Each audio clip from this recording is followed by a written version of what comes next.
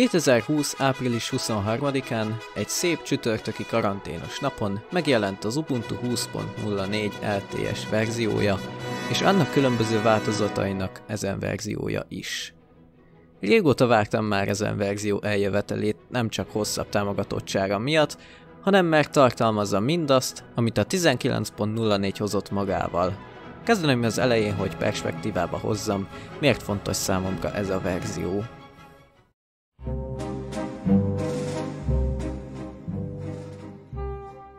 Amióta elkezdtem megismerkedni a Linux világával, egy valamit sosem tudtam lerázni magamról. Ez nem volt más, mint az úgynevezett distro hopping.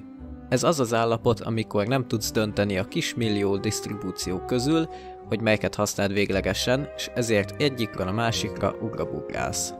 A sokszoros ugrabugrálásba belefáradván gyakran visszatértem Windowsra, ezzel feladva az átváltáshoz fűzött reményeket. Egészen tavalyig.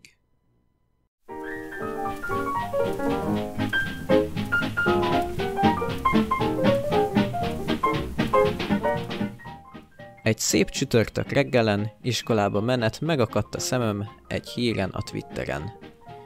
Megjelent az Ubuntu 19.04-es verziója, ami ugyan nem rendelkezik egetrengetően új tulajdonságokkal, ha az összes verzióról általánosságban beszélünk, ám számos jelentős motorháztető alatti változással érkezik. Az 5.0-ás kernelt szállítja, ami jobb AMD és Nvidia grafikus támogatás mellett jobb általános teljesítménnyel szolgál. Az AMD-s része kifejezetten megfogott, mert ilyen eszközön van, így az elkövetkezendő hétvégén ki is próbáltam a rendszer KDS változatát, a Kubuntu-t. Hogy őszinte legyek, az első percről fogva imádtam. Responszív, eleven, sokkal kiforrottabbnak éreztem használat közben, mint a 18.04-es LTS verziót. A javított felhasználói élményhez, az említett kernel javítások mellett még hozzátesz az is, hogy a KDE fejlesztői is hibákat javítottak, amik bekerültek a rendszerbe. A fogyasztása is drasztikusan csökkent a korábbi verziókhoz képest, most már 500-700 MB között mozog bútolást követően a memória fogyasztása. Ami nagy szó, mert a KDE 4-et követően gigabájtos méreteket ért el. A rendszer használata közben realizáltam, hogy mennyivel felsőbbrendűbb a KDE-nek a Wacom rajztábla beállító pultja. Nézd csak a gnómét! A kettőt összesen lehet hasonlítani. Ha vakom rajztáblád van, bűncselekmény KDE-től eltérő felületet használni. Na jó, nem csak. Én nem ajánlom. A Kubuntu 19.04 egy meglepően jól sikerült kiadás, annak ellenére, hogy csak egy köztes verzió.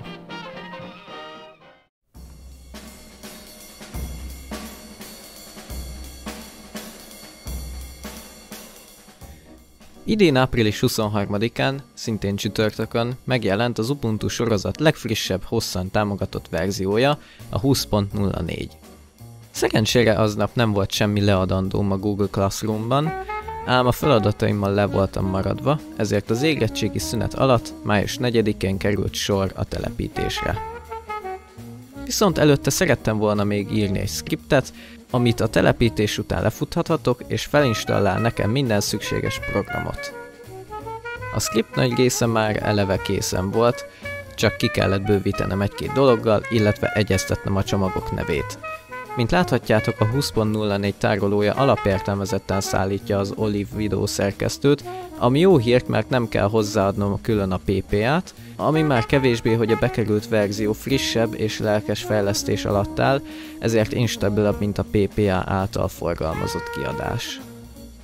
Szerettem volna még, ha automatikusan forrásból feltelepítené az OpenTunes-t a file, úgyhogy előre virtuális gépben megpróbáltam felrakni, csak tesztelésképp, hogy működik-e. Sajnos nem sikerült forrásból fordítanom, így a végén hagytam az egészet. A shell script befejeztével kiírtam a lemezképet egy pendrive-ra, majd bebútaltam róla. Végre telepítjük! Illetve nem igazán. Az első telepítés alkalmával nem figyeltem, hogy legacy módban bútoltam be a pendrive-ról, ezért nem működött a telepítés. A második nekiugrásra már sikerült. Nem volt hosszú a folyamat, 15-20 perc volt az egész, ellenben más rendszerekkel. Nem sokkal utána lefuttattam a shell scriptet. Egy nem létező csomagnév miatt a telepítés kimaradt, de legalább lefrissítette a rendszert. Második nekifutásra már feltelepítette a programokat is, kivéve a dpkg kötőjel i parancsal jelölt dep fájlokat, meg nem képes a szükséges függőségeket feltelepíteni. Ezt a lépést manuálisan oldottam meg.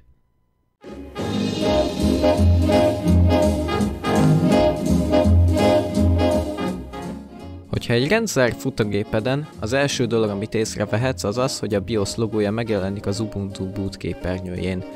Ez nálam a Windowsos Dual Boot miatt nem jelenik meg, de amit megfigyeltem az az, hogy a bootolási idő rövidebb lett. Mondjuk eleve nem volt túl lassú. A Kubuntu ezen verziójánál a hosszan támogatott kiadások nagyon szerencsés időzítésben estek egybe. Mind az 5.4-es kernelnek és a KDE Plasma 5.18 felületnek is az LTS verziója került be. Ez utóbbi ritkán jött össze tudomásom szerint. A felületen is történtek kisebb-nagyobb kánc felvarrások. A fontosabbakat ki is emelném. A görgetősáv mostantól minden esetben megjelenik, nem zsugorodik össze inaktív állapotban. A paneltálcán az értesítések átláthatóban jelennek meg és jobban kezelhetőek lettek. Most már elérhető lett egy ne zavarjanak gomb is, feltételezem a GNOME hatására rakták be, mivel az Ubuntu-ban is van ilyen. Ha rákattintunk a frissítés gombra, akkor automatikusan a Discover Software központot nyitja meg. Eddig csak azt mutatta hány frissítés érhető el. A rendszerbeállításokban néhány beállítást áthelyeztek, saját megítélésem szerint egy átláthatóbb, logikusabb módon. Nem utolsó sorban a KDE Connect jobb integrálást kapott a rendszerbe.